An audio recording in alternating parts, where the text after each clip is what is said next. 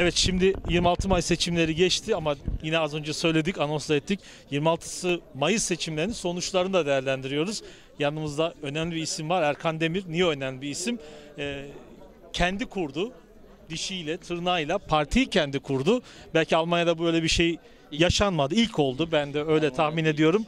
Ee, kendi kurdu ve kendi aday oldu. Gerçekten güzel de bir oy topladı. Seçim çalışmalarını da yine göçmenlere, Almanlara yönelik yaptı Ee, ve güzel de bir sonuç aldı. Ee, seçim bence en e, renkli insanı Erkan Demir oldu diyeceğim. Çünkü kendi kurduğu partisinde gerçekten büyük mücadele verdi. Erkan Bey en zor en meşakkatli ve en belki masraflı seçime sponsorsuz siz girdiniz. Evet sizden dinleyelim o zaman. Partiyi nasıl kurdunuz, niye kurdunuz ve e, yaşadığınız zorluklar ve sonucu alalım. Şimdi biz millet olarak artık bazı şeyleri hüsnü zan değil de gerçek dürüst olarak başlamak zorundayız. Zaten ne kaybettiysek fazla dürüstlüğü arka plana atmaktan edik. Benim parti kurmamdaki gaye ve amaç mecburiyetti. Daha önceki partimde sorun olduğu için ama bir yola çıktığımız için bunu başarıyla sonuçlandırmak için kurulmuş bir partiydi. Fakat gördüm ki çok insanlarımızın, milletimizin buna ihtiyacı olduğunu, birlik, beraberliğe ihtiyacı var. Biz bu partiyi kurduk, seçime girdik. Genel oylarımız da Alman, İtalyan, Yunanlardan geldi. Şunu da gördüm ki seçim çalışmasında Türklerin fazla bir oy hakkı yoktu bölgemde. 16 yaşında çocuklar var. Bunlar da sorumlu kendini hissetmiyor, umursamayan bir toplumumuz var. Biz 3 kişi girdik ama rakiplerimiz iktidar partisi 5 parti vardı. Bunların hepsi 26-30 adayla girdi. Yani onların oyuna nazaran bizim e, 18 kişilik bir oyla kaybettik seçimi. Eğer biz de onlar gibi 26 girseydik bugün 4 sandalyemiz vardı. 4 kişilik bir oturumum var. Niye bunu yapıyor? 2000 çarpı 30. Yani 60 bin oyumuz gitti yani bu şekil. Bir, önemli değil biz e, yola devam ediyoruz fakat burada tek kaybeden milletimiz oluyor. Her geçen 4 yıl 5 yıl onların zamanı onların hakları kayboluyor. Bunu bir türlü anlatamadım. Ama bu parti sonuçta yeni kurdunuz. Yani siz de yeni başladınız. Yani evet çok yeni daha yeni kuruldu. Yani önümüzde zaten e, seçimler yine var. E, belediye başkanlığı seçimi de olabilir. Yine meclis seçimleri de var. Yine devam edecek parti zaten bir seçim için kurmadınız bu partiyi. Yok e, devam edeceğiz fakat bu devam ederken bakın bunu eksi altını çiziyorum. Şu an Big Partisi, Migrant Partisi ADD ile görüşmem lazım. Arkadaş gelin birleşelim.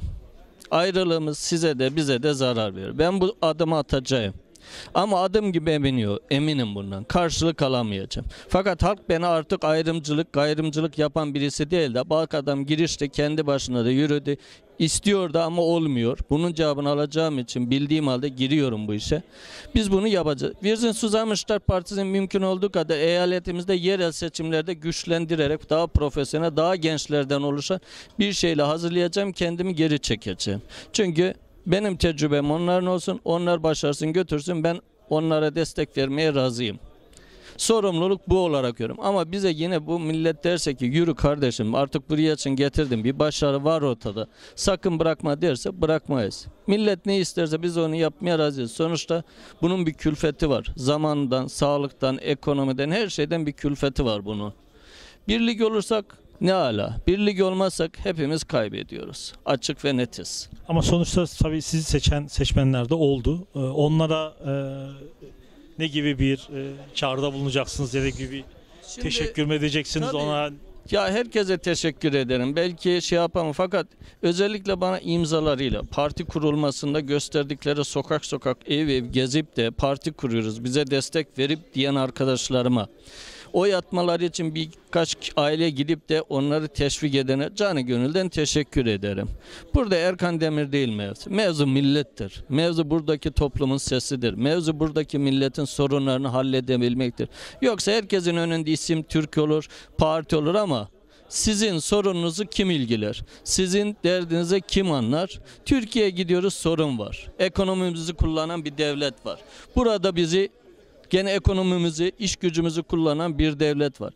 Yani iki ara derede kalmış bir milletiz. Kendi sorunumuzu kendimiz çözmediğimiz müddetçe emin olun başarılı olamayız. Benim kurduğum manası partinin budur. Biz birlikte güçlüyüz. Namazda da birlikte Allah övüyor, kullar övüyor. O zaman gelin birlik olalım, beraber yürüyelim. Hiç kimse artık hüsnü niyet veya böyle aburlanmadan, mağrurlanmadan mütevazi bir şekilde kardeşçe yürüyelim.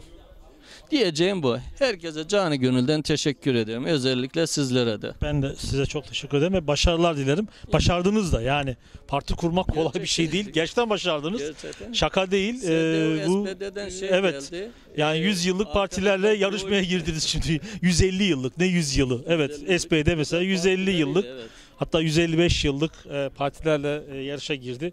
2,5 ay önce kuruldu ama bundan sonra evet artık yerliyiz artık bundan Evet, sonra yerel seçimlerde yani işte katılıyoruz. Keşke üniversite okuyan gençlerimiz bunu yapaydı. Ya bundan sonra yok siz Ekonomi. partiyi zaten e, büyütürsünüz. Belki parti yine genişler. Karlsruhe'da belki yeni bir şey olabilir. Yani? Stuttgart'ta vesaire. Yani Kendiniz olmadıktan sonra bir başkası siz olmaz. Peki tamam. Peki çok teşekkür Hürmetler, ederim ve yani gerçekten tebrik ederim. Ee, hayırlı olsun. Sonuç da güzel bence. Ben Oy almak. yani o kadar evet. şey yapmıyorum ama Evet. iyi.